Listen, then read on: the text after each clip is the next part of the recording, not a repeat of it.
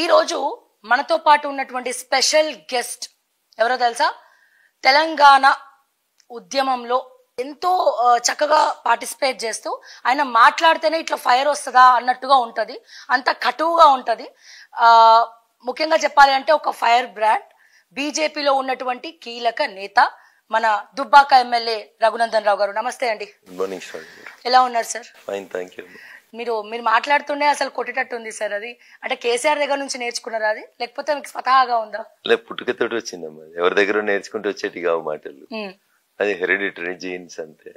ఒక్కొక్కరి గొంతు ఒక రకంగా ఉంటుంది. నా గొంతు ఇంతే నా మాట తీరు ఇంతే. యాభై సంవత్సరాలు దాటిపోతున్నాం కదా తల్లి now I cannot change my voice. అందరు మిమ్మల్ని ఫైర్ బ్రాండ్ అంటా ఉంటే మీకు అసలు ఎట్లా అనిపిస్తా ఉన్నది?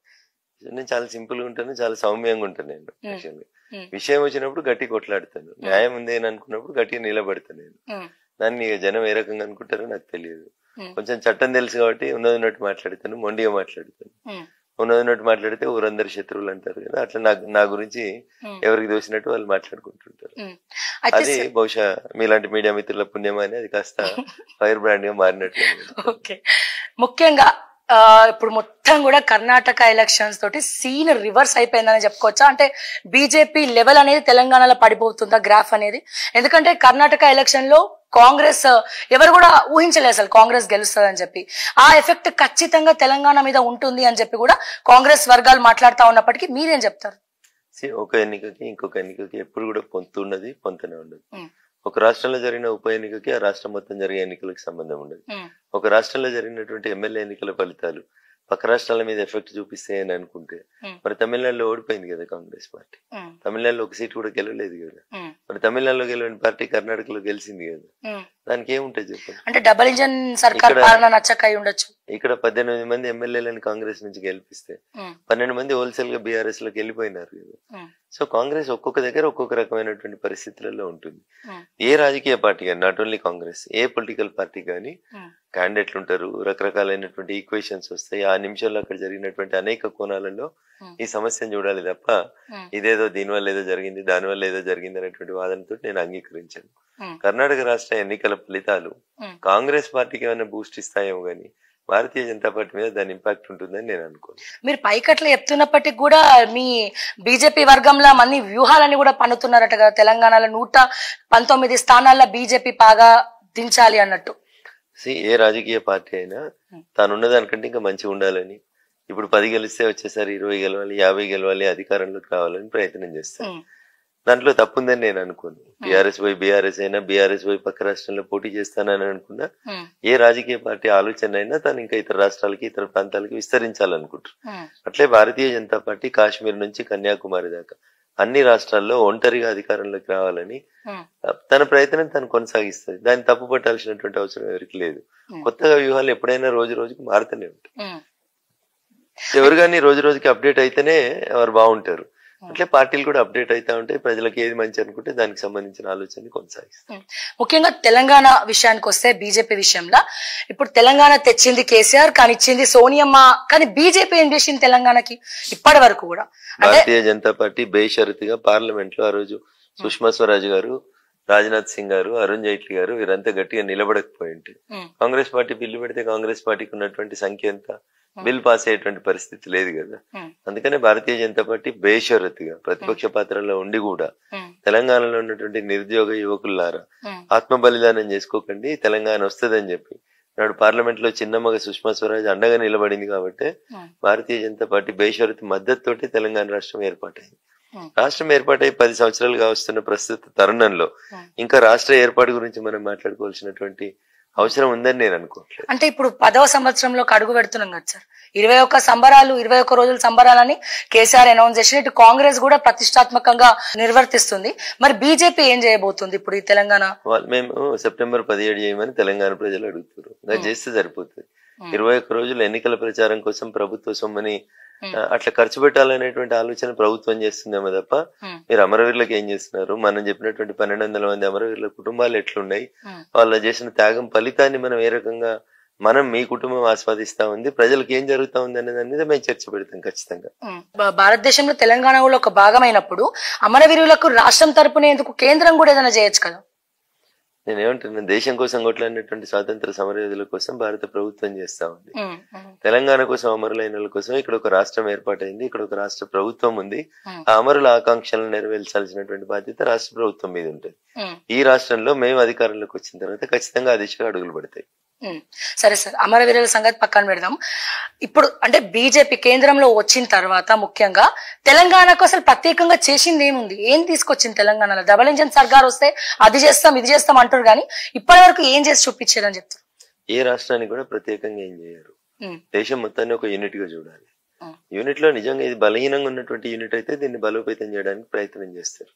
తెలంగాణ ఏ రకం కూడా కొత్త రాష్ట్రం ఏర్పాటైన రోజు బలహీనంగా లేదు.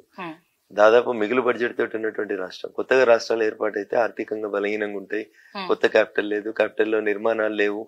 ప్రజల ఆర్థిక స్థితిగతులు బాగలేవు అనేటువంటి ఇబ్బందులు ఉంటాయి కానీ తెలంగాణ ఒక మంచి ఎస్టాబ్లిష్ అయినటువంటి క్యాపిటల్ తోటి. అప్పటికే మంచి గ్రోత్ రేట్ ఉన్నటువంటి ప్రజలతోటి అనేక రకాలైనటువంటి మల్టీనేషనల్ కంపెనీలతోటి. ఒక గ్రోయింగ్ హబ్గా ఉన్నటువంటి ప్రాంతం తెలంగాణ దీనికి ప్రత్యేకంగా కొత్తగా చేయాల్సిందే ఉంటుంది.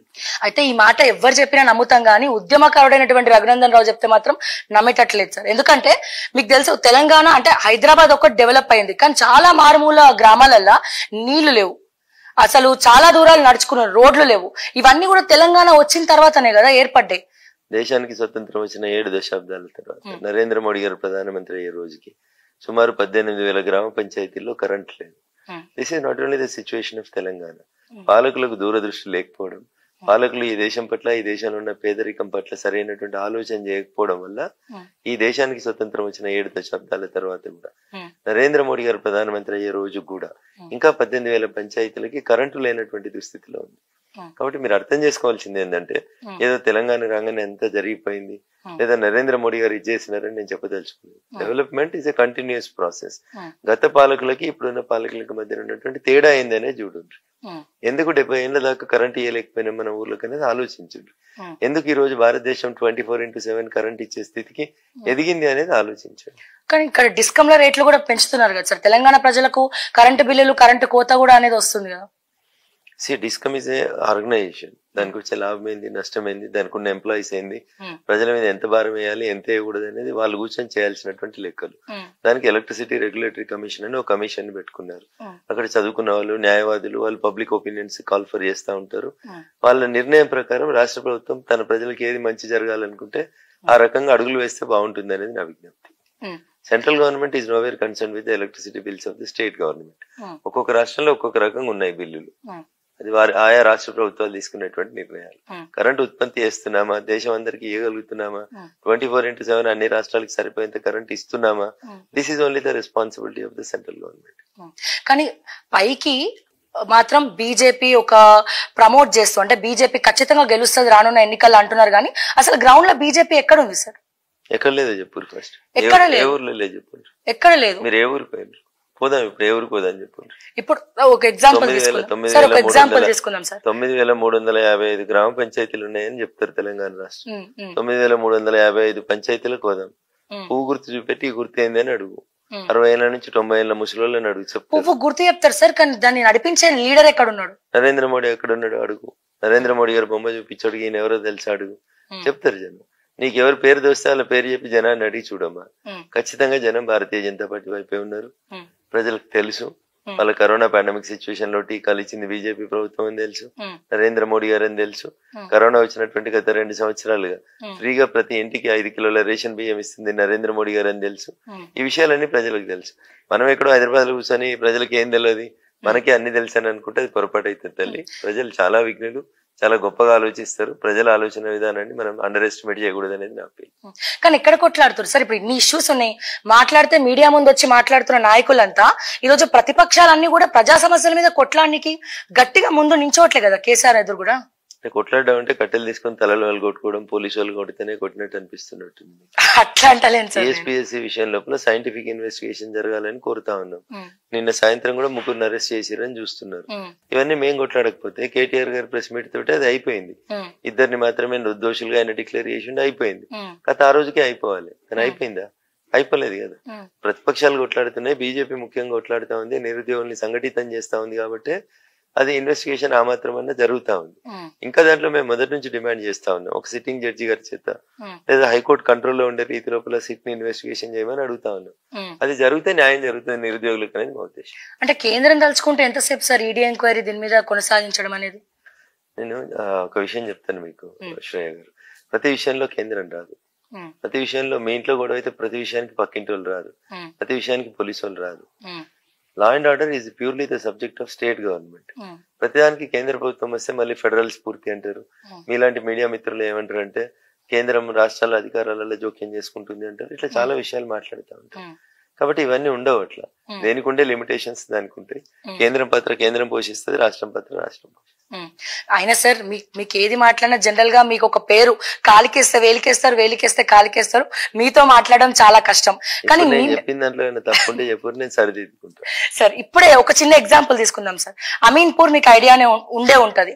అయితే వాళ్ళు నాలుగేళ్ళ నాలుగేళ్ళ నుండి కూడా అక్కడ భూములు కొనుక్కున్నారు. ఒక్కొక్కటి పది లక్షలు ఇచ్చి అరవై గజాలు వంద గజాల జాగా వేసుకుంటే తెల్లవారుజామున మూడు గంటలకు వచ్చి ఇల్లు మొత్తం కుల్లగొట్టేసారు ఏ ప్రతిపక్షం వచ్చి నిలబడ్డది వాళ్ళ కోసం? బేసికల్గా మీకు తెలవాల్సింది ఏంటంటే ఇదే రఘునందన్ రావు అనే వ్యక్తి ఈనాడులో కంట్రిబ్యూటర్గా ఉన్నప్పుడు ఐలాపూర్ భూముల గురించి కొట్లాడండి అమీన్పూర్ భూముల కోసం కొట్లాడండి. మీరు మాట్లాడుతున్న ఐలాపూర్ గురించి మీకు ఏం తెలియదని నాకు అర్థమైంది. ఎందుకంటే ఐలాపూర్లో ఉన్నాయి సర్ఫకాజ్ భూములు ప్రభుత్వ భూములు. వాడేవాడో పది లక్షల కమ్మిండి నువ్వెవరో ఇల్లు కట్టుకున్నావు అని నన్ను అడుగుతుంది అవి ఎప్పుడైనా గులగొట్టాల్సింది. అవి మీ భూములే కావు ప్రభుత్వ భూములు. దాంట్లో ఎట్లా ఇల్లు కడతారు మీరు? సర్ఫకాజ్ భూములు అవి. కోర్టులో కేసు నడుస్తుంది. సుప్రీం కోర్టులో కేసు పెండింగ్ ఉంది. వాడు అమ్మడం ఏంది? మీరు కొనుక్కోవడం ఏంది? మీరు ఇల్లు కట్టుకోవడం ఏంది?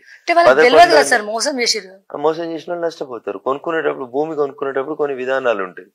అది ప్రభుత్వ భూమి అనేది పంతొమ్మిది వందల యాభై నాలుగు యాభై ఐదు కాసరపానిలో క్రిస్టల్ క్లియర్ కనబడతా ఉంది. ఉమ్, పదకొండు వందల నుంచి పన్నె పదకొండు వందల ఎనభై నుంచి పన్నెండు వందల యాభై ఎకరాలలో ఉమ్, కేవలం రెండు వందల ఎకరాలు మాత్రమే ఔరోళ్ళు కబ్జాలు ఉన్నారు. ఉమ్, అంటే పొజిషన్లో ఉన్నారు. రైతులు ఇల్లు కట్టుకున్నారు వ్యవసాయం చేస్తున్నారు. మా నేను ఈనాడు రిపోర్టర్ ఉన్నప్పుడు వార్తలు రాస్తే కలెక్టర్ గారు ఎంక్వైరీ చేసిండ్రు. ఉమ్, ఎరనేని సీతాదేవి గారు అనేటువంటి ఒక ఎమ్మెల్యే గారి నాయకత్వంలో ముప్పై రెండు మంది ఎమ్మెల్యేల హౌస్ కమిటీ వచ్చింది. అది ప్రభుత్వ భూమి అని చెప్పిండ్రు Hmm. ఇప్పుడు మీరు ఇల్లు కట్టి ఇల్లు కూడా కొడుతున్నారు అంటే ఎట్లా? కట్టిపించినది తప్పు. మొత్తం రోడ్డు మీద పడ్డారు కదా సార్? కట్టిపించినది తప్పు. కలెక్టర్ది తప్పు. ప్రాసిక్యూట్ చేయాల్సింది వాళ్ళని. కొనుక్కునేటప్పుడు మీరు సరిగా పేపర్ చూసుకోకుండా కొనుక్కోవడం ఆగమాగం అగ్గువకి వస్తుంది అని కొనుక్కోవడం మీరు చేసిన తప్పు అది. అది ప్రభుత్వ భూమి. ఐలాపూర్ భూమి ప్రభుత్వ భూమి. ఐలాపూర్లో పదకొండు వందల యాభై ఎనభై ఎకరాలలో అక్కడ ఉన్నటువంటి మెజారిటీ స్థలం నూటికి తొంభై శాతం భూమి. ప్రభుత్వ భూమి. అది ఏ రోజుకున్నా ప్రభుత్వం స్వాధీనం చేసుకోవాల్సిందే. కానీ జనరల్గా పొజిషన్లో ఉంటే అట్లా కుల్లగొట్టే రైట్ ఉంటదంట ఎందుకుండదు? మీరు రాత్రి రాత్రి రేకుల డబ్బాలు పెట్టి రాత్రి రాత్రి సిమెంట్ ఇటుకలతోటి ఇల్లు కడితే. అది గవర్నమెంట్ ఏం చేస్తుంది? అసలు అన్ని ఇల్లు వచ్చేదా? గవర్నమెంట్ ఏం చేసింది? బేసిక్ అది క్వశ్చన్ కరెంట్ అది that land is under the custody of DRO district revenue officer కంట్రోల్లో ఉన్నటువంటి భూమి అది. దాంట్లో ఇల్లు కడుతుంటే ఏం చేస్తా ఉన్నారు? లేఅవుట్లు వస్తుంటే ఏం చేస్తున్నారు? విల్లాలు వస్తుంటే ఏం చేస్తున్నారు. ఇది తప్పుడు విధానం అంటున్నా. అంటే పర్మిషన్ ప్రభుత్వం- ప్రభుత్వం స్పందించాల్సిన టైంలో స్పందించక కట్టుకున్న తర్వాత పేదలను ఇల్లు కూడా కొట్టడం తప్పు. నేను అంటున్నా భూమి మొదటి నుంచి ప్రభుత్వ భూమి. డిఆర్ఓ కంట్రోల్లో ఉన్న భూమి. దాన్ని కంట్రోల్ చేయాల్సిన బాధ్యత రాష్ట్ర ప్రభుత్వాన్ని అట్లా చేయకుండా ఎవరో దళారులు అమ్ముకొని అధికార పార్టీలు అమ్ముకొని జీవో యాభై ఎనిమిది కింద జీవో యాభై తొమ్మిది కింద రెగ్యులరైజ్ చేస్తామని అన్ని అయినాక అక్కడ ఏదో గొడవలు జరిగినాయని చెప్పి లోకల్ బీఆర్ఎస్ వాళ్ళకి పంచాయతీలు నడిస్తే ఈ రోజు గులగొట్టడం తప్పు. కట్టనివ్వడం మొదటి తప్పు. అందులో మనుషులు ఉంటున్నప్పుడు గులగొట్టడం రెండో తప్పు. అందుకే అందుకే అంటున్నాను సార్ అంటే వాళ్ళ తరపున బీజేపీ కావచ్చు కాంగ్రెస్ కూడా. నేను ఓన్లీ బీజేపీ అనట్లేదు. అక్కడ వాళ్ళందరూ కూడా వేడుకుంటున్నారు ఎవరన్నా హెల్ప్ చేయకపోరా మాకు అసలు ఏం అర్థం కావట్లేదు అని చెప్పి కన్నీళ్ళు పెట్టుకుంటున్నప్పుడు ఒక నాయకుడు వాళ్ళ తరపున ఫైట్ చేయాల్సిన అవసరం ఉంది కదా అని చెప్పి అడుగుతున్నాను. అక్కడ ఉన్నారు కదా స్థానికంగా కాంగ్రెస్ బీజేపీ నాయకులు ఉన్నారు పార్టీలు ఉన్నాయి కొట్లాడతారని ఆశపడతా ఉన్నాను నేను. ఇప్పుడు నాకేమైంది ప్రాబ్లం అంటే జిల్లాలు మూడుగా విభజించబడిన తర్వాత సంగారెడ్డి పేపర్ సిద్దిపేటకు రాదు. సంగారెడ్డిలో ఏం జరుగుతుందో సిద్దిపేట పేపర్ ద్వారా ఏం తెలియదు. ఏదైనా టీవీలలో ఎప్పుడైనా బ్రేకింగ్లో ఏమన్నా రెండు గీతలు వచ్చిపోతే ఏమో తెలియదు కానీ అసలు విషయాలు తెలియనప్పుడు సమస్యలు ఇక్కడ ఏం జరుగుతున్నాయి అనేది మా దృష్టికి రానప్పుడు అక్కడ పోరాటం అనేది కొంచెం ఇబ్బంది అవుతుంది. ఏ సమీన్పూర్ ఐలాపూర్ ఇట్లాంటి విషయాలలో నాకు కొంత అవగాహన ఉంది కాబట్టి చెప్తా ఉన్నా నేను. Definitely I go into the matter. ఇప్పుడు ఎలక్షన్స్ విషయానికి వస్తే ఈసారి మూడు పార్టీలల్లో ఏది రాబోతుంది? అంటే బీజేపీకి అయితే అవకాశం లేదు అనుకోవచ్చా? ఈ కర్ణాటక ఎలక్షన్ తర్వాత. భారతీయ జనతా పార్టీ అధికారంలోకి వస్తుంది పక్కా. కానీ గ్రౌండ్లో ఎక్కడ కూడా ఇందాక అడిగిన క్వశ్చన్ నేను మళ్ళీ అడుగుతున్నా మీరు. కాంగ్రెస్ కూడా కనబడలేదు కదా కర్ణాటకలో ఇప్పుడు వచ్చే అవకాశం ఉందేమో గ్రౌండ్లో కర్ణాటకలో కూడా కాంగ్రెస్ కనబడలేదు కదా బీజేపీ కనబడ్డది కదా. ఉమ్, అందుకని ప్రజల ఆలోచన విధానంలో మార్పు వచ్చింది. ఈ రాష్ట్రంలో అన్ని పార్టీలకు అవకాశం ఇచ్చాం. పసుపచ్చ పార్టీకి ఇచ్చాం మూడు జెండాల పార్టీకి ఇచ్చాం. కొట్లాడి తెచ్చినామంటే టిఆర్ఎస్కి ఇచ్చాం. అవకాశం రాని పార్టీ భారతీయ జనతా పార్టీ. ఒకసారి అవకాశం ఇచ్చి చూద్దాం అనేటువంటి ఆలోచన ప్రజలకు వచ్చిందని నేను అనుకుంటున్నాను. అంటే ప్రజలందరూ కూడా బీజేపీ బీఆర్ఎస్ ఒకటే కాంగ్రెస్ తొక్కడానికే వీళ్ళంతా కలిసి నాటకం ఆడుతున్నట్టు అందరూ కూడా మాట్లాడుకుంటా ఉన్నారు. దీని గురించి మీరు ఏం చెప్తారు? ఇది కొంతమంది టీవీ ఛానల్ మిత్రులకు ఉన్నటువంటి అత్యుత్సాహం. ప్రజలకు ఎవరు కూడా అట్లాంటి మాట రాలేదు మరి ఇప్పటిదాకా ఇక్కడ. ప్రజలకు వస్తే మేము ఖచ్చితంగా దాని విషయం లోపల ఆలోచిస్తాం దానికి సంబంధించినటువంటి విషయాలు ఏమైనా ఉంటే క్లారిఫికేషన్ ఇస్తాం మళ్ళీ చెప్తున్నా ఎర్ర జెండా ముసుగులో ఉండి. గతంలో కమ్యూనిస్ట్ ఉద్యమాలలో పనిచేసి. కమ్యూనిస్ట్ పార్టీ కాలం చెల్లిందని అర్థమైన తర్వాత రిపోర్టర్ల రీతిలో యాంకర్ల రీతిలో విశ్లేషకుల రీతిలో టీవీ ఛానల్ యాజమాన్యాల రీతిలో వచ్చి. మమ్మల్ని బదనాం చేసేటువంటి పంచాయతీ తప్ప ఇక్కడ ఏం లేదు. అంతా ఇది రిపోర్టర్ల గ్యాస్ తప్ప ఇంకొకటి కాదు కవిత ఎందుకు అరెస్ట్ అవుతలేదు మరి? ఇది నిజంగా ఈడీని అడగాలి. రఘునందన్ రావు ఈడీ చీఫ్ కాదు కేంద్రం చెప్తేనే కదా ఈడీ. ప్రతిసారి ఇది ఐఎమ్ సారీ టు సే ఇది మీకున్నటువంటి తొందరపాటుతనం అంటుంది. కేంద్రం చెప్తే ఎందుకు చేస్తుంది ఉమ్, కేంద్రం చెప్తే చేసినట్టు కేంద్రం చంద్రశేఖరరావును కూడా అరెస్ట్ చేయమంటది. చేస్తారా? కేంద్రం శ్రావ్యాన్ని కూడా అరెస్ట్ చేయండి ఈమె అడవుల ప్రశ్నలు అడుగుతుంది అని చెప్తుంది. అరెస్ట్ చేస్తారా? ఏదైనా ఒక వ్యక్తిని అరెస్ట్ చేయాలంటే ఒక కేసు ఉండాలి. వారికి వ్యతిరేకంగా సాక్ష్యాధారాలు బలమైనవి ఉండాలి. రేపు మనం అరెస్ట్ చేసి కోర్టులో ప్రొడ్యూస్ చేస్తే జడ్జి గారిని కన్విన్స్ చేసేటట్టు ఉండాలి. ఇవేం లేకుండా అర్ధరాత్రి అపరాత్రి ఏమైనా తెలంగాణ ప్రభుత్వం అనుకుంటుందా సార్ ఈడీ కన్నా ముందు ప్రెస్ మీట్ బీజేపీ పెట్టింది ఢిల్లీలో మరి? భారతీయ జనతా పార్టీ నాయకులుగా మాకున్నటువంటి సమాచారాన్ని ప్రజల దృష్టికి తీసుకొచ్చినాం. తర్వాత దాని మీద కేసు నమోదైంది. ఎంక్వైరీ అవుతుంది. ఢిల్లీ ఉప ముఖ్యమంత్రి గారు కూడా అరెస్ట్ ఉమ్, మరి మా ప్రెస్ మీట్ కరెక్ట్ అవునా కాదా? కవిత గారి పాత్ర కోసం విచారణ జరుగుతుంది ఎంక్వైరీ జరుగుతుంది. ఉమ్, పాత్ర ఉన్న వాళ్ళందరినీ అరెస్ట్ చేస్తారు. ఉమ్, మీ పాత్ర అంటే మిమ్మల్ని కూడా అరెస్ట్ చేస్తారు? ప్రజలు నమ్మేటట్లు లేరు కదా సార్ ఇప్పుడు మేమే ఛానల్ పోల్ మేనేజ్మెంట్ పెడితే బీజేపీని ఈసారి నమ్మం మేము అంటున్నారు. ప్రజల్ని నమ్మించడం కోసం పార్టీలు పనిచేయాయి. ప్రజలకు ఏది మంచి చేస్తారో దానికోసమే పార్టీలు పనిచేస్తాయి. ప్రజలు నమ్ముతారా నమ్మరా? ప్రజలు ఓట్లేస్తారా ఓట్లేయరా? ఇట్లా లాభ నష్టాలని బేరీజ్ వేసుకొని పనిచేయవద్దు ఏది ప్రజలకు మేలు చేస్తారో దానికోసం పని చేసుకుంటూ పోతాలి. పనిచేస్తూ పోతున్న పరిణామ క్రమంలో ప్రజలు మిమ్మల్ని ఆదరిస్తారు ఆశీర్వదిస్తారు ఓట్లేస్తారు అప్పుడు అధికారంలోకి వస్తారు తప్ప రోజు నటించుకుంటా ప్రజల కోసం ఏదో అబద్ధాలు ఆడుకుంటూ తిరగడం అనేది సరైనది కాదు. అంటే బీజేపీ చేసిన మంచి ఏంటి సార్? జిఎస్టీ పెంచడమా? గ్యాస్ సిలిండర్ పెంచడమా? ఈ రోజు సామాన్యులకు అందుబాటులో లేని ధరలను పెంచడమా? ఏం చేసిందంటారు మంచి? మీరు ఎన్ని సంవత్సరాలు అయింది యాంకరింగ్ వృత్తిలోకి వచ్చి? ఎయిట్ ఇయర్స్ అప్పుడు మీ జీతం ఎంత? ఒక ఫిఫ్టీ టు సిక్స్టీ ఉంటుంది. ఇప్పుడు ఎంత ఉంది? Eighty ninety. అంటే దాదాపు ఎంత పెరిగింది? థర్టీ పర్సెంటేజ్ పెరిగింది. పెట్రోల్ ఎంత ఉండే? నరేంద్ర మోడీ గారు అధికారంలోకి వచ్చినప్పుడు డెబ్బై ఐదు రూపాయలు. ఇవాళ ఎంత ఉంది? వంద రూపాయలు అయింది. సో ఎంత పెరిగింది? అంత కూడా పెరగలేదు. మేము రెండు సార్లు పది పది రూపాయలు కేంద్రం తగ్గించింది. కొన్ని రాష్ట్రాలు తగ్గించినాయి. భాజపా పాలిత రాష్ట్రాలు పది పది రూపాయలు తగ్గించినాయి. రాష్ట్ర ప్రభుత్వానికి కూడా దాంట్లో పన్నులలో వాటా ఉంది. నిజంగా రాష్ట్ర ప్రభుత్వం పేద ప్రజల సంక్షేమం కోరేదైతే ఎందుకు ఇచ్చేస్తలేరు ఉమ్, బీజేపీకి ఎందుకు ఓటేయాలని అడిగారు మీరు? కరోనా పాండమిక్ లాంటి సిచ్యువేషన్ వచ్చినప్పుడు ప్రపంచం అంతా భారతదేశం ఏమైతుందో అని భయపడుతున్నప్పుడు కరోనా వ్యాక్సిన్ని తయారు చేసి. ప్రపంచం ఏదో గొప్పగా అభివృద్ధి చెందిన దేశాలు అయినటువంటి అమెరికాలు జపాన్ లాంటి దేశాలు లాస్ట్ చైనా లాంటి నియంత్రిత దేశాలు కూడా. మాకు నాలుగు వ్యాక్సిన్లు అమ్మండి నరేంద్ర మోడీ గారు అని అడిగేంత గొప్పగా దూరదృష్టితో ఆలోచించినటువంటి నాయకుడు ఈ దేశ ప్రధానమంత్రి గారు. ఏం కావాలి ఇంకా మీకు? కరోనా వస్తే ప్రజలకు కష్టం వస్తుందని. Hmm. ఇంట్లో ఉంటారో బయటకు పోతారో పోలేరు అనే పరిస్థితిని గమనించి పేదోళ్ళకి ఒక్కొక్కరికి ఐదు కిలోల బియ్యం ఇచ్చినారు. ఫ్రీగా టీకాలు ఇచ్చినారు. Hmm. కరోనా పాండమిక్ సిచ్యువేషన్ నుంచి ఈ దేశాన్ని కాపాడిండ్రు ఈ దేశం గురించి వదిలేసేయండి. అవ్వ బువ్వ ఉడికిందా లేదంటే రెండు మెతుకులు చూస్తుంది. ఉమ్, తెలంగాణ వచ్చినప్పుడు రెండు వేల ఐదు వందల యాభై కిలోమీటర్ల నేషనల్ హైవేస్ తోటి ఉమ్, దేశంలో అన్నిటికంటే తక్కువ నేషనల్ హైవేస్ కలిగిన రాష్ట్రం తెలంగాణ రాష్ట్రం. ఇలా ఐదు వేల కిలోమీటర్ల వరకు నేషనల్ హైవేస్ గడువును పెంచి అంటే నేడు కిలోమీటర్ల దూరాన్ని పెంచి తెలంగాణ దేశం లోపల నాలుగవ శాతం రేట్లు పెరిగి నాలుగవ శాతం four percentage of the national highways కలిగినటువంటి రాష్ట్రంగా దేశంలోనే అభివృద్ధి చెందిన రాష్ట్రంగా వచ్చింది.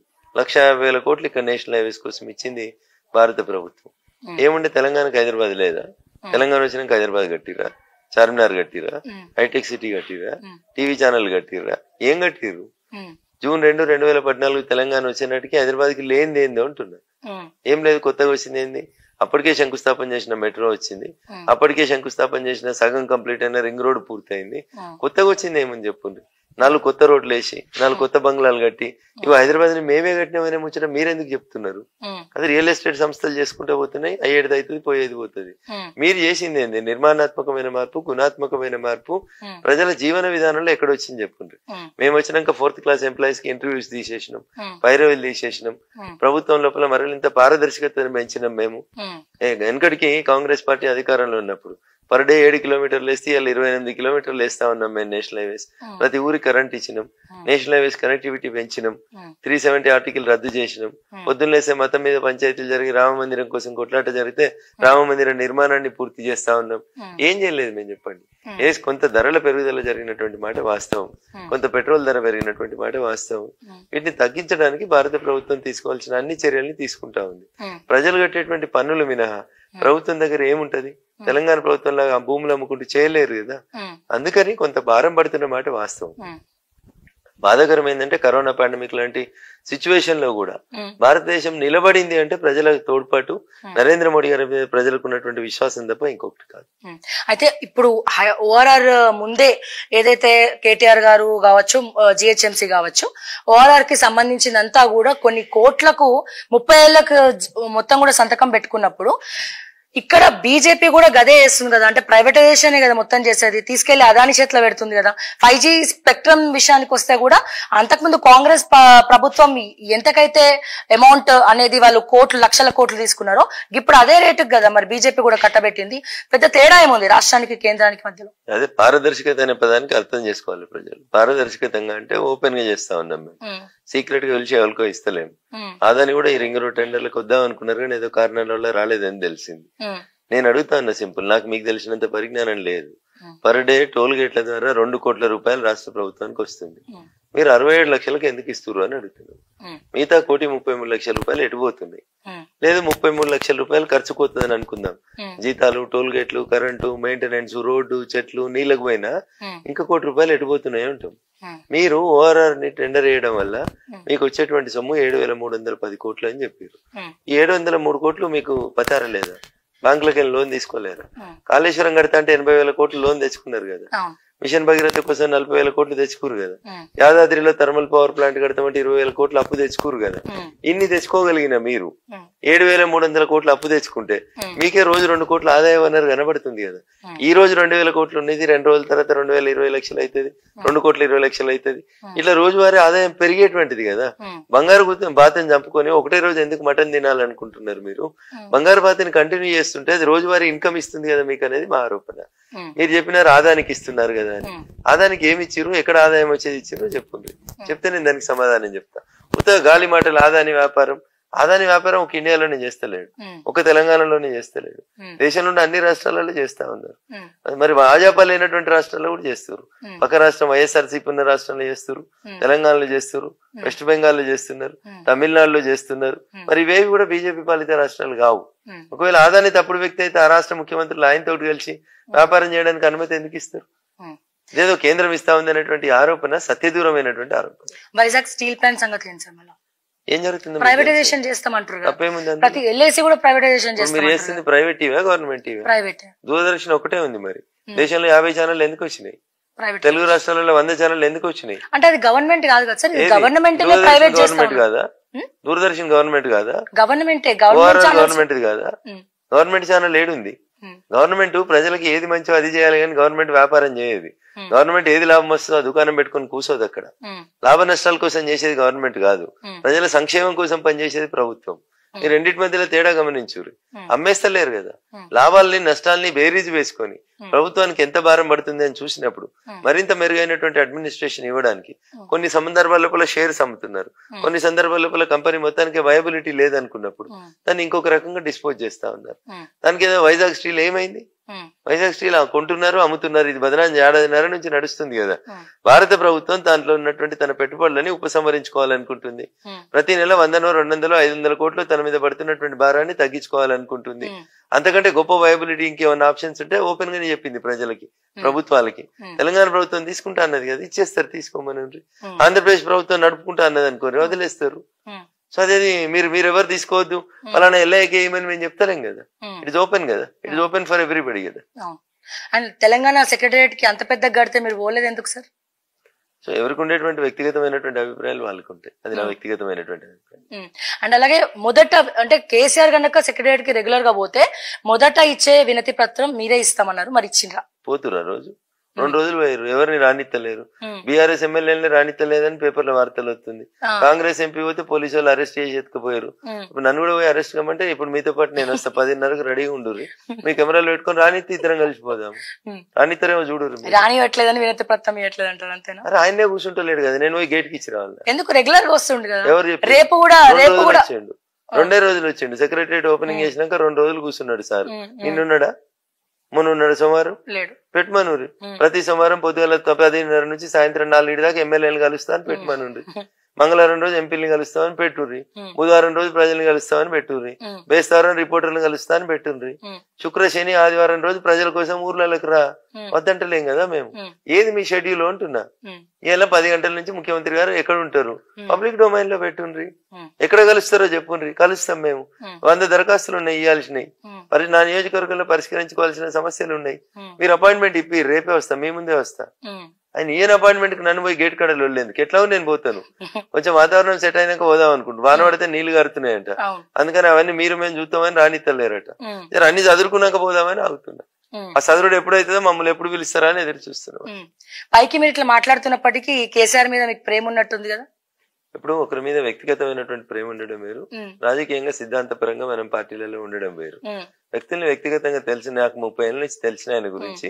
నాకు ఉండేటువంటి అభిప్రాయాలు నాకుంటాయి మీకుండే అభిప్రాయాలు మీకుంటాయి. అది ప్రేమ అని ఎట్లా అంటారు అంతే అంటారు. మరి పార్టీ అంటే ముఖ్యంగా చెప్పాలంటే చాలా మంది మీ గురించి మాట్లాడతారు సార్.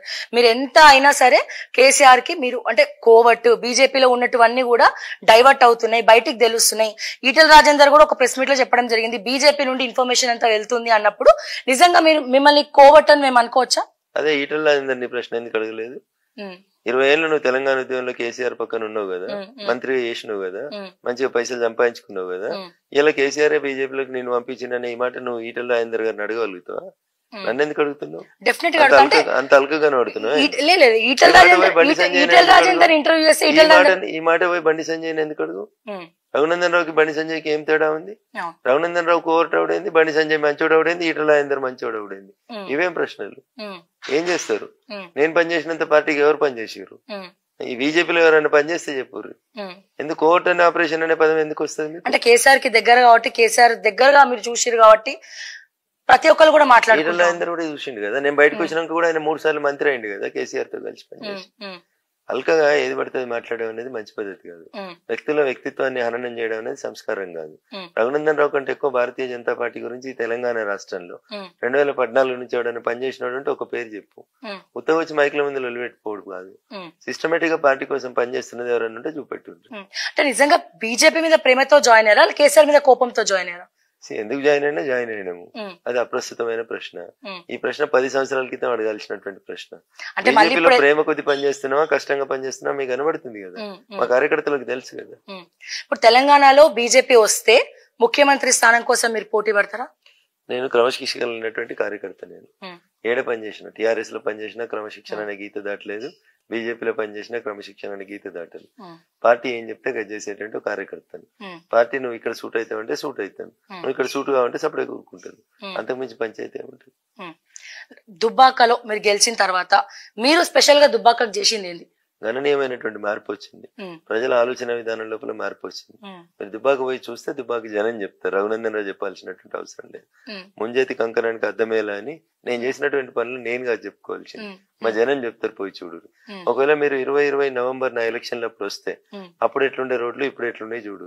ఊర్లో అప్పుడు ఎట్లుండే ఇప్పుడు ఎట్లుండే మీరు పోయి మీ కళ్ళతో మీరు చూడు మీ కెమెరాలతో మీరు రికార్డ్ చేయండి. ఉమ్, మీరే ప్రపంచానికి చూపెట్టండి. ఉమ్, ఆ రోజు మేము క్రిస్టల్ క్లియర్ చెప్పినాం. దుబ్బాకకు వస్తే దుబ్బాకలకు వచ్చినాం అనేది కార్లో నిద్రపోతున్నాను కూడా తెలుస్తుంది అని చెప్పినాం. సిద్దిపేట నుంచి గజ్వేల్కి పోయే రోడే ఉదాహరణ చెప్పినాం. వయా తొగుట పోయే రోడ్డు ఉమ్, జరిగేలా మీ కారు తీసుకొని మీరు ఆ సిద్దిపేట నుంచి గజ్వేల్ దాకా వయా తొగుట ఉమ్, మీకు దుబ్బాకకు వచ్చినాక రోడ్లు ఉన్నాయా? సిద్దిపేటలో గజ్వేల గుంతలు ఉన్నాయా? ఒకసారి మీకు తెలుస్తుంది. మనుషులు వంద అబద్ధాలు ఆడవచ్చు మీరు గ్రౌండ్ మీదకి పోతే వాస్తవాలు తెలుస్తాయి. సిద్దిపేట నుంచి మెట్టు దాకా వచ్చిన తర్వాత రోడ్ ఆగిపోయేది ఇంతకు ముందు. ఇటు దిక్కు చందాపూర్ దగ్గర నుంచి వచ్చిన తర్వాత చందాపూర్ టు గజ్వేల్ మధ్యలో రోడ్ ఆగిపోయేది. ఇప్పుడు మీరు సిద్దిపేట నుంచి వయా తొగుట అనే మండల కేంద్రం నుంచి గజ్వేల్ దాకా పోండ్రు. నేను మళ్ళీ చెప్తున్నా బువ్వ ఉడికిందంటే రెండు మెతుకులు చాలు. ఒక్కసారి పోయాడ మీరు చూసిరండి ఆ రోడ్లు ఎట్లా మారినాయి అనేది మీకే తెలుస్తుంది. రెండు. ఏం తెచ్చినావు ప్రత్యేకంగా. ఇప్పుడు సిద్దిపేట నుంచి మెదక్ మధ్యలో నేషనల్ హైవే పనులు నడుస్తున్నాయి. లేదా సిద్దిపేట నుంచి ఎలకతుర్తి మధ్యలో నేషనల్ హైవే పనులు నడుస్తున్నాయి. ఒకసారి పోయి చూసిరండి పద్నాలుగు వందల ముప్పై ఒక్క కోట్లతోటి. ఏడేళ్ళ నుంచి వీళ్ళు దండం పెట్టి దరఖాస్తు ఇస్తేనే కానీ నేషనల్ హైవే. నేను గెలిచిన తర్వాత పనులు నడుస్తున్నాయా నడుస్తున్నాయో? ఒకసారి పోయి చూసిరండి. దళిత బంధు సంగతి ఏంటంటారు దళిత బంధు రైతు బంధు ఇవన్నీ మీ దుబ్బాకలో ఇస్తురా? అంటే మీరు ప్రతిపక్షంలో ఉన్నటువంటి ఎమ్మెల్యే కదా? అంటే మీ మీ జనరల్గా మీ ఎమ్మెల్యేలు చెప్పేది ఏంటంటే అటు కాంగ్రెస్ వాళ్ళు కూడా మమ్మల్ని మా నియోజకవర్గాల్ని అభివృద్ధి జరగనిస్తలేరు చేయనిస్తలేరు అని చెప్తా ఉన్నారు సో దుబ్బాక సంగతి? ప్రతిపక్ష ఎమ్మెల్యేగా గెలిచినటువంటి రఘునందన్ రావు ప్రాధాన్యతను ఎట్లా తగ్గించాలి. రఘునందన్ రావు పని చేయలేదు అని ఒక ప్రచారాన్ని ఎట్లా తీసుకురావాలి. అని తీసుకురావడానికి. అక్కడ మెదక్ ఎంపీగా ఉన్నటువంటి పెద్ద మనిషి. సిద్దిపేటలో నాతోటి పోటీ పడి ఉమ్. భంగపడినటువంటి గౌరవ మంత్రి హరీష్ రావు గారు. వీళ్ళు పొద్దున్న లేస్తే. మీడియా మిత్రులకు పైసలు ఇచ్చుకుంటూ టీవీ ఛానళ్ళకి డబ్బులు ఇచ్చుకుంటూ. మొత్తం మేమే చేస్తున్నాం మా ద్వారానే అభివృద్ధి జరుగుతుంది అని ఒక బాకా కొట్టుకునేటువంటి ప్రయత్నం చేస్తున్నారు ఉమ్. పెయిడ్ ఆర్టికల్స్ పెయిడ్ ఆర్టిస్టులను పెట్టుకొని నాటకాలు చేస్తా ఉన్నారు. నేను అడుగుతా ఉన్నా రఘునందన్ రావు కంటే ముందు కూడా ఆయన ఎంపీ ఉన్నాడు. రఘునందన్ రావు కంటే ముందు కూడా ఆయన మంత్రి ఉన్నాడు. మరి అప్పుడు తుపాకి ఎందుకు అభివృద్ధి కాలేదు ఇప్పుడు ఎందుకు గణనీయమైనటువంటి మార్పు వచ్చిందో చెప్పాలి. ఈ రోజు కూడా హరీష్ రావు గారికి దుబ్బా మీద దుబాక మీద ప్రేమ లేదు. హరీష్ రావు అన్నట్టు ఆయన నర నరాన. దుబ్బాకకు వ్యతిరేకేది. మా దుబ్బాక ప్రజలకు అది అర్థమైంది కాబట్టి. ఆయన రావడాన్ని మా ప్రజలు జీర్ణించుకుంటలేరు ఉమ్. నేను మళ్ళీ చెప్తా ఉన్నా దుబాక కన్ను సిద్దిపేట కన్ను అని ఎలక్షన్లో ప్రచారం చేసుకొని పోయి. దుబాకకి ఇలా రింగ్ రోడ్ ఇవ్వమంటే ఇవ్వకుండా అడ్డుపడుతుంది ఎవరంటే హరీష్ రావు గారు. దుబాకలో కొన్ని రోడ్లని ఫోర్ లైన్ రోడ్స్ చేయమంటే. చేయకుండా అడ్డుపడుతుంది ప్రభాకర్ రెడ్డి గారు హరీష్ రావు గారు. మాది ప్రభుత్వం మేం పైసలు ఇస్తున్నామని మాట్లాడేటోళ్ళకి. నిజంగా దుబాక్ ఏం కావాలో చేయమని. అది చేయకుండా. ఎంతసేపు రఘునందన్ రావుకి చెడ్డ పేరు వచ్చేలాగా ఏం పని చేయాలనేటువంటి ఆలోచన చేస్తారు. ఇది తప్పు అది. ఇట్లాంటి దుష్ప్రయోగాలు గతంలో చేసిరు కాబట్టి దుబాక్ తోటి దుబాక్ ప్రజలు. బండకేసి కొట్టిరు ఉమ్. ఇప్పుడు కూడా అదే పిచ్చి పనులు చేస్తా ఉంటారు. ఖచ్చితంగా ప్రజలు మళ్ళీ అట్లాంటి తీర్పు ఇస్తారు. సిద్దిపేట నుండి ఈసారి మీరు హరీష్ రావు ఎక్కడి నుంచి ఉంటే అక్కడ పోటీ చేయబోతున్నారా పార్టీ ఏం చెప్తే చేస్తారు అంటే స్వతహాగా మీరు అంటే హరీష్ రావు మీద పోటీ చేస్తారు దుబ్బాకలో చాలా మంది మాట్లాడుకుంటా ఉన్నారు మీలాంటి వాళ్ళు అడిగితే చెప్పిన మరి సిద్దిపేటలో పోటీ చేస్తారా భయపడతారా అంటే.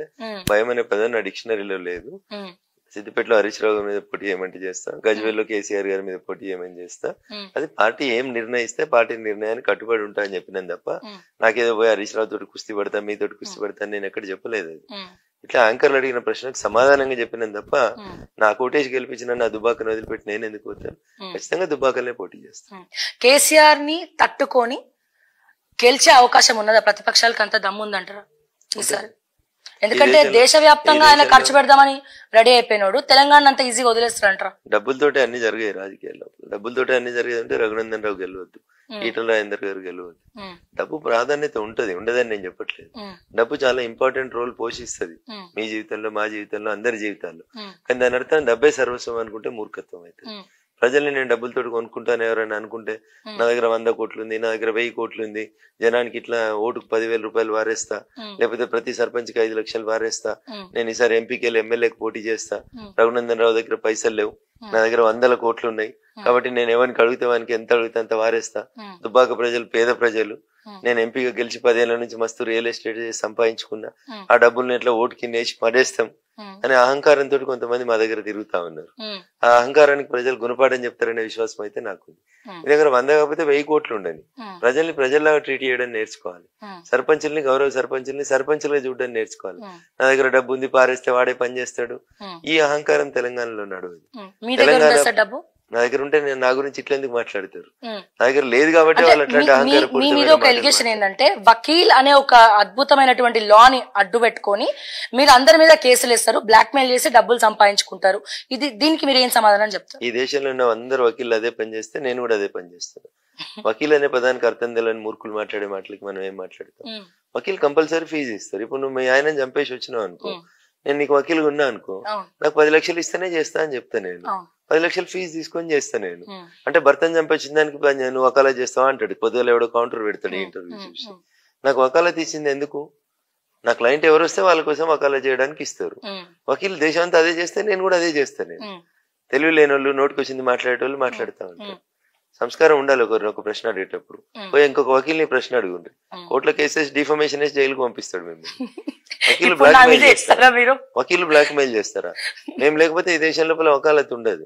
వకీల్ అనేది ఒక పవిత్రమైనటువంటి వృత్తి. ఈ దేశానికి స్వతంత్రం తెచ్చిన కాడికి ఇయ్యలేటి కాక రాజకీయాల్లో చాలా మంది వకీల్లే ఉంటారు.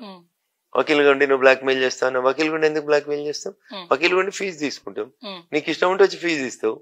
లేకపోతే తలుపుకుల్లా ఉంది పోతే హైదరాబాద్లో రెండున్నర లక్షల మంది వకీలు ఉన్నారు. నీకు నచ్చిన వకీల్ దగ్గరకు నా దగ్గర రమ్మని నేను ఏమన్నా నేను బతిలాడుతున్నా. మీ ఇంటికి వచ్చి నాకు వకాలత్ ఏమని ఏమన్నా అడుగుతున్నా నేను. నేను ఎవరింటికి పోను.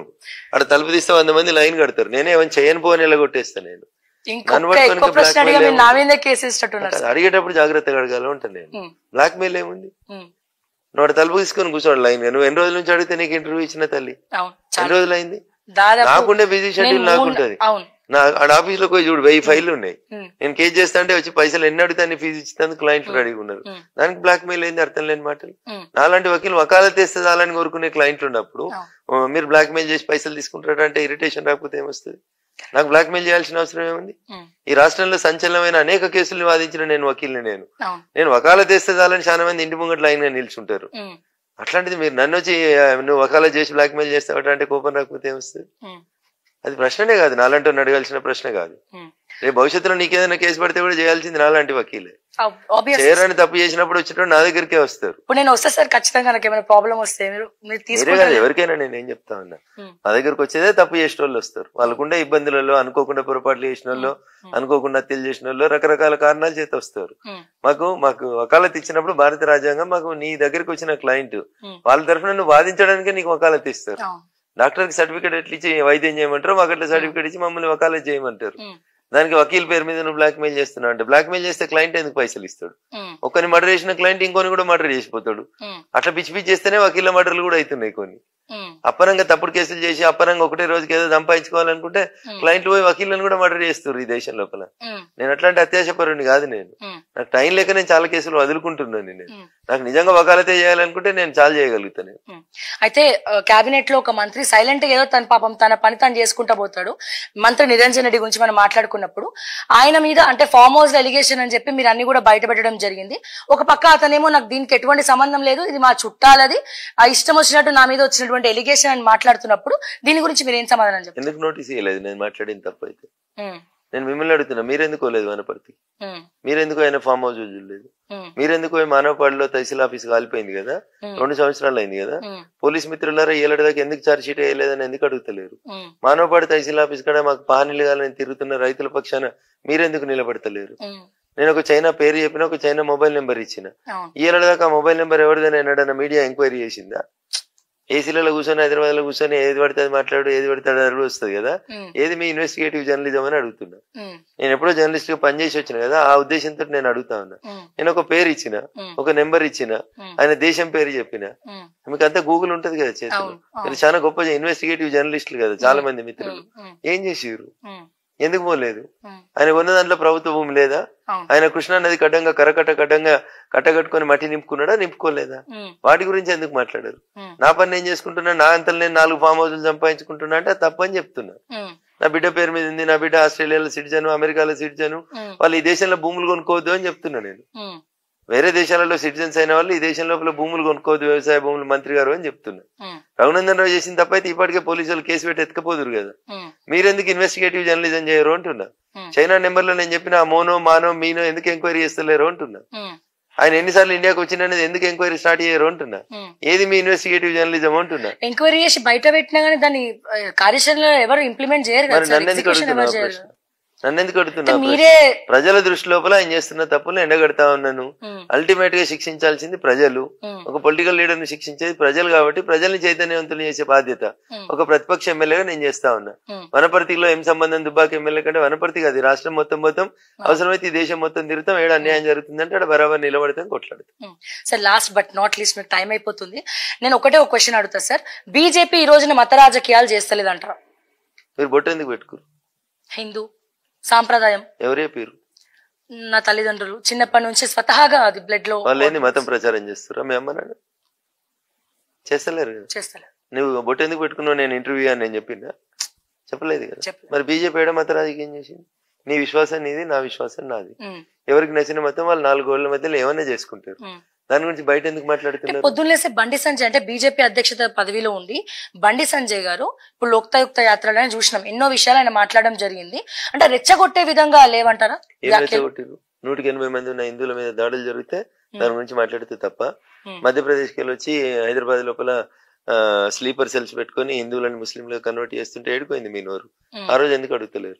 దుబాయ్కి వెళ్ళి షేకులు వచ్చి ఎనభై ఏళ్ళ ముసలోడు వచ్చి పదమూడు పద్నాలుగు ఏళ్ళ ముక్కు పచ్చలారని చిన్న చిన్న ఆడపిల్లని తీసుకొని పోతే ఓల్డ్ సిటీకి పోయి నువ్వు ఈ మాత్రం ఇన్వెస్టిగేటివ్ జర్నలిజం చేయగలుగుతావా? ఎందుకు చేయలేవు? ఓవైసీ హాస్పిటల్లో హెచ్ ఆఫ్ ద హెచ్ఓడిగా హెడ్ ఆఫ్ ద. డిపార్ట్మెంట్గా ఒక ముస్లిం వచ్చి హిందూగా పేరు మార్చుకొని పెట్టుకున్న తర్వాత ఆ మెడికల్ కాలేజ్ మీద కేసు చేయాలనే మాట ఒక జర్నలిస్ట్ మిత్రుడు ఎందుకు మాట్లాడాడు? ఒక హెచ్ఓడి తన సర్టిఫికెట్స్ వెరిఫై కాకుండానే ఉమ్, ముస్లిం గా తన పేరుని హిందూగా మార్చుకొని అనేక మంది హిందూ డాక్టర్లని అమ్మాయిల్ని Hmm. ముస్లింలుగా కన్వర్ట్ చేసేందుకు ప్రయత్నం చేస్తా ఉంటే స్లీపర్ సెల్స్ పేరిట హైదరాబాద్లో ఉన్న హిందూ సామ్రాజ్యం మీద లేదా హిందువుల మీద దాడులు చేయాలని చూస్తుంటే. మాట్లాడాలో అదే చట్టం తెలిసిన వ్యక్తిగా. మాట్లాడితే అది మతతత్వం అవుతుందా? అయితే నీ ఇష్టం. నువ్వేమనుకుంటావు నాకు తెలియదు. ఈ మాత్రం మాట్లాడవచ్చు నాకు భారత రాజ్యాంగం వెసులుబాటు ఇచ్చింది. అందుకనే మాట్లాడుతా ఉన్నాను నూటికి ఎనభై శాతం ఉన్న హిందువుల గురించి మాట్లాడితే తప్పు. ఉమ్, నూటికి పది నుంచి ఇరవై శాతం ఉన్న ముస్లింల గురించి మాట్లాడితే రైట్ అనుకుంటే ఉమ్, మీ ఆలోచన విధానం తప్పు. ఉమ్. మిమ్మల్ని తీసుకుపోయి ఎక్కడో ఇంకో దగ్గర పరిశీలించాల్సిన అవసరం ఉందనేది నేను చెప్తలుచుకున్నాను సరే ఒక మహిళా జర్నలిస్ట్గా లాస్ట్ బట్ నాట్ లీస్ట్ ఒక క్వశ్చన్ అడుగుతున్నా. ఈ రోజు మన దేశానికి గర్వకారణం రిజర్లు అటువంటి రిజర్లు జంతర్ మంతర్ కాడ ధర్నా కూర్చొని నాకు బ్రిజ్ భూషణ్ ద్వారా నన్ను లైంగికంగా వేధిస్తున్నారు ఎంపీని సస్పెండ్ చేయండి కేసు ఇస్తున్నా సరే ఫైల్ చేసుకోవట్లేదు తీసుకోవట్లేదు అని చెప్పి వాళ్ళు ఈ రోజు నాడ కూర్చుంటే కేంద్రం ఎందుకు పట్టించుకోవట్లేదు? మీరు చేయాల్సింది ఏంటనేది ఫస్ట్ మీకు తెలవాలి. ఉమ్, ఇప్పుడు మిమ్మల్ని ఎవరైనా ఒక అబ్బాయి చేయబట్టుకొని లాగినాడు. దానికి ముఖ్యమంత్రి గారిని బాధ్యత తీసుకోమని అడగొద్దు. మీరు పోయి ఫస్ట్ పోలీస్ స్టేషన్లో కంప్లైంట్ ఇవ్వాలి కంప్లైంట్ తీసుకోవట్లేదు ఒకటే? నిమిషం. కంప్లైంట్ తీసుకోలేదు. నెక్స్ట్ మేము ఉంది చక్కగా నాలాంటి వకీల్ దగ్గరికి పోయి కోర్టులో కేసు ఫైల్ చేయాలి. సెక్షన్ టూ హండ్రెడ్ సిఆర్పిసి కింద. నన్ను శారీరకంగా మానసికంగా వేధిస్తున్నారని కంప్లైంట్ ఫైల్ చేయాలి. ఇది వరకు తెలియదా బాక్సర్లు? ప్రపంచ గొప్ప బాక్సర్లు రెజ్లర్లే కదా వాళ్ళు. వాళ్ళు కావాలని ఉద్దేశపూర్వకంగా ఎవరినో ఒకరిని బదనాం చేయాలనుకుని. బీజేపీనో భారత ప్రభుత్వాన్ని బదనాం చేయాలనుకున్నప్పుడు మరి అట్లాంటి చాలా ఎలిగేషన్స్ వస్తా ఉన్నాయి. చాలా మంది ఎమ్మెల్యేల మీద ఎంపీల మీద. ప్రతిపక్ష ఎమ్మెల్యేల మీద వస్తేనేమో కేసులు తొందరగా అవుతా ఉన్నాయి. మరి అదే అధికార పార్టీకి సంబంధించిన వాళ్ళు వచ్చినప్పుడు తెలంగాణలో ఏం జరిగింది అడిగిర్రా మీరు. ఎందుకు అడిగారు? తెలంగాణలో అడుగుతున్నాం కదా సార్. ఏం అడుగు డెఫినెట్గా నేనే సార్ని తెల్లారుజామున నాలుగు గంటలకు తలుపులు ఇరుకొట్టి తాళాలు వలగొట్టి. ఎత్తుకపోవడం న్యాయం అని చెప్తారా. దుబ్బాక ఎమ్మెల్యే మల్లన్న సాగర్లో ఊరు కాల్ చేస్తున్నప్పుడు రాత్రి రాత్రి ఇల్లు కొడుతుంటే నేనున్న ఎమ్మెల్యే ఉన్నటువంటి నా నియోజకవర్గంలోకి నేను పోతే నన్ను హౌస్ అరెస్ట్ చేసుడు దారి కాసి దొంగలాగా రోడ్ల మీద అరెస్ట్ చేసుడు కరెక్టా మరి దాని గురించి ఎందుకో మాట్లాడరు. అందుకే నేను ఏమంటా అంటే మీకు అన్యాయం జరిగింది మీరు ఎక్కడ కంప్లైంట్ చేయాలి. పోలీస్ స్టేషన్లో చేయాలి పోలీసు వాళ్ళు కేసు తీసుకుంటలేరు. కోర్టుకు పోయి ప్రైవేట్ కంప్లైంట్ ఫైల్ చేయాలి. ఎంక్వైరీ స్టార్ట్ అవుతుంది. మీరు అక్కడ రోడ్డు మీద టెంట్ వేసుకొని కూర్చొని గొడవ చేస్తా ఉన్నారంటేనే దాని వెనకాల ఉన్న ఉద్దేశం ఏందనేది మీరు అర్థం చేసుకోండి. ప్రధానమంత్రి గారు సార్. ప్రధానమంత్రి గారు అపాయింట్మెంట్ తీసుకోండి. క్రీడల శాఖ మంత్రి అపాయింట్మెంట్ తీసుకోండి. So you represent before the right platform నేను చెప్తున్నా కదా సింపుల్. ఒక అడ్వకేట్ దగ్గరికి ఒక పిటిషన్ వేసేస్తే అయిపోతుంది కదా. అదెందుకు వేస్తలేరు. సార్ ఇక్కడ మీరు ఒక ఒకసారి నేను అడుగుతా. బికాజ్ ఏంటంటే ఇప్పుడు నరేంద్ర మోడీ గారు మేము గెలిచిన తర్వాత గోల్డ్ మెడల్ వస్తే మాతోటి కలిసి సెల్ఫీ దిగుతారు. మేము అడిగితే మాకు అపాయింట్మెంట్ ఇస్తలేరు అని వాళ్ళు అంటా ఉన్నారు. ఇప్పుడు ప్రధానమంత్రి గారు అపాయింట్మెంట్ తీసుకోవడానికి ఒక ప్రొసీజర్ ఉంటుంది. ముఖ్యమంత్రి గారిని కలవాలంటే సెక్రటరియట్ పోయి కలుస్తారు. విజిటింగ్ అవర్స్ అని ఉంటాయి. సరే ప్రధానమంత్రులు ముఖ్యమంత్రులు విజిటింగ్ అవర్స్ పెట్టుకోలేదు అనుకోండి అక్కడ ఒక పేషీ ఉంటుంది. ఆ పేషీలకు పోయి మీరు ఒక దరఖాస్తు ఇచ్చి టైం ఫిక్స్ చేస్తే అందరికీ అపాయింట్మెంట్ దొరుకుతుంది. అనేక మందిని వాళ్ళే చెప్పారు కదా మేము పథకం తెచ్చినప్పుడు కలిసిరు ఇప్పుడు కలుస్తలేరు. ఈమనండి అప్లికేషన్? మిమ్మల్ని మీడియాని తీసుకొని పోయి ప్రధానమంత్రి గారు ఈ మండే నుంచి సాటర్డే దాకా. మీకు ఎప్పుడు అవకాశం ఉంటే అప్పుడు మాకు అపాయింట్మెంట్ ఇవ్వమని అడుగుండ్రి. ఇస్తారు వాళ్ళు. ఇప్పుడు ముందస్తు ఎలక్షన్స్ వస్తున్నాయంటారా? నాకు తెలిసి రావు. ముందస్తు రావు వెనకొస్తు రావు. నవంబర్ డిసెంబర్లో వస్తున్నాయి అంటారు కదా రెగ్యులర్గా ఎలక్షన్స్ వస్తాయి కదా అప్పుడు రెగ్యులర్ ఎలక్షన్సే కదా. ఇప్పుడు నూట పంతొమ్మిది స్థానాల్లో బీజేపీ ఎన్ని స్థానాలు గెలుస్తుంది అనుకుంటున్నారు సార్? సర్వే రిపోర్ట్లలో ఏమొచ్చింది? అధికారంలోకి రావడానికి ఎన్ని సీట్లు కావాలన్నా అన్ని సీట్లు గెలుస్తాయి. తెలంగాణలో అధికారంలోకి రావడానికి ఎన్ని సీట్లు కావాలన్నా అన్ని సీట్లు వస్తాయి. వస్తాయంటారా పక్క? నూటికి నూరు శాతం వస్తాయి. మనిషి ఆశాజీవి. ఆశ లేకపోతే ఎలక్షన్స్ కొట్లాడలేరు. ఉమ్, మేము గెలుస్తాం మా పార్టీ అధికారంలోకి వస్తుందనే విశ్వాసం లేకపోతే ఉమ్, మీరు ఎలక్షన్స్ కొట్లాడలేరు. అది గుర్తుపెట్టుకోండి. గెలుస్తాం ఓడతాం తర్వాత ఎండ్ రిజల్ట్ ఏమైతేనే తర్వాత. కొట్లాటకు పోయినప్పుడు కూడా నేను గెలుస్తా అంటావంటే మీరేడే గెలుస్తారు. అమ్మాడు రింగ్ బాక్సింగ్ రింగ్లో మైక్ టైసన్ ఉన్నాడు. Hmm. మైక్ టైసన్ తోటి నేను గెలుస్తానంటే ఎట్లా అవుతుంది? ఉమ్, శత్రువు ఎవరైనా సరే నీ లక్ష్యం ఏందనేది నువ్వు పెట్టుకుని బరిలోకి దిగాలి. Hmm. గెలుస్తామనే దిగాలి. Self confidence is more important in politics Hmm. అది లేకపోతే రాజకీయం చేయలేదు. సో అయితే మేము కూడా గెలుస్తారు గెలవాలని అనుకుంటాం సార్ మేము కూడా. Anyways thank you sir thank you so much thank you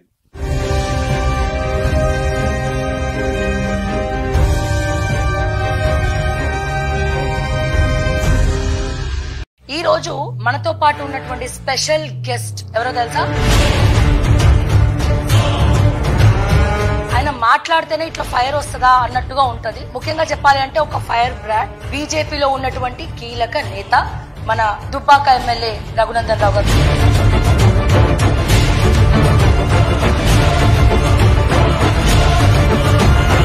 దుబ్బాకలో మీరు గెలిచిన తర్వాత మీరు స్పెషల్గా దుబ్బాకకు చేసింది ఏంటి? మీరు దుబ్బాక పోయి చూస్తే దుబ్బాకి జనం చెప్తారు. రఘునందన్ రావు చెప్పాల్సినటువంటి అవసరం లేదు. ముంజేతి కంకణానికి అర్థమేలా అని నేను చేసినటువంటి పనులు నేను కాదు చెప్పుకోవాల్సి. మా జనం చెప్తారు పోయి చూడు